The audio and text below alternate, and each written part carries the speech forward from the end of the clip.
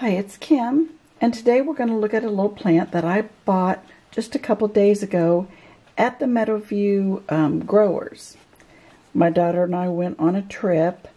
I want to try to get it as close to get as much detail as possible. It's just a tiny little pot, and the plant itself is only about six inches high right now. But it's a peperomia, and it's a peperomia Axillaris. And you can see the tiny little leaves of it are kind of shaped like a taco.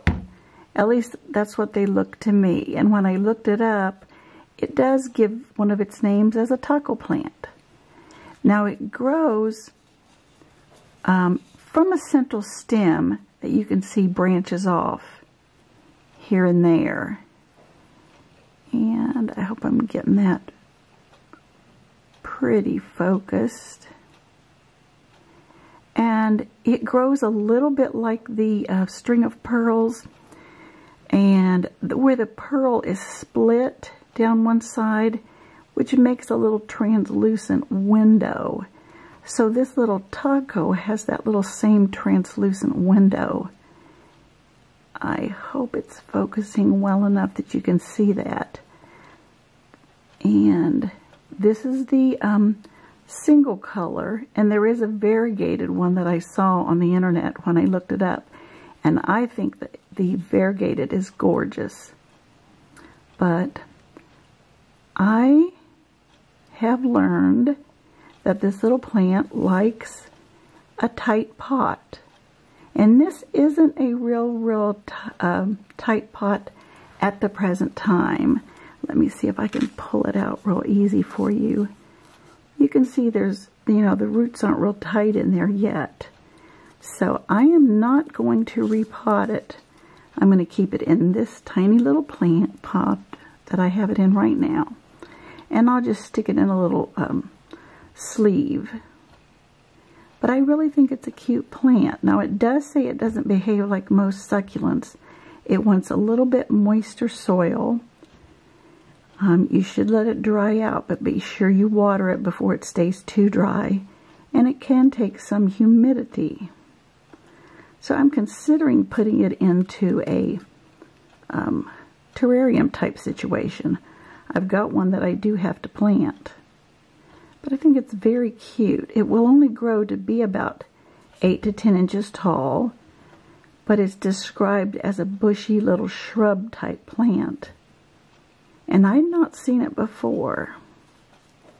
But since I'm really loving my peperomias, adding another to the collection just seems smart to me. So, this is what I'm going to do with this one. Now, the little pot that I have chosen to put it in is one that you may have seen before in some of my videos. The little apple basket and it looks like it'll just fit right down in there. And I'll just have to be careful how I water it to let it drain through because this one itself was a drain pot has a hole in it. But I think it would look cute sitting up on the shelf like that. But I really like the plant.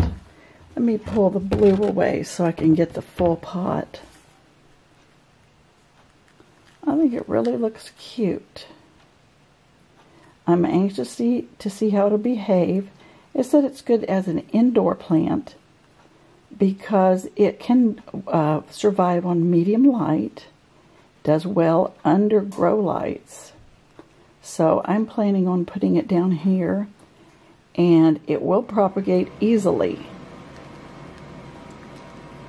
And I will probably pull off some leaves. There were a couple that dropped already. I'll show you those.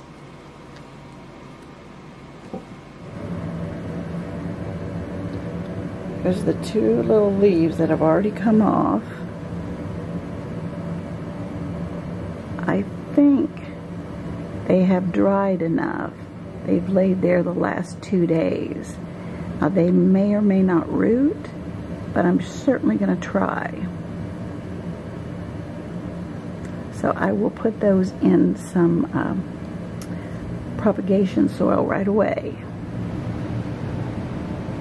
But I think this little plant is really cute. I'm loving the look of it. I love the little taco style that it has. Let me see if I can get it back in here. And you can see that little window.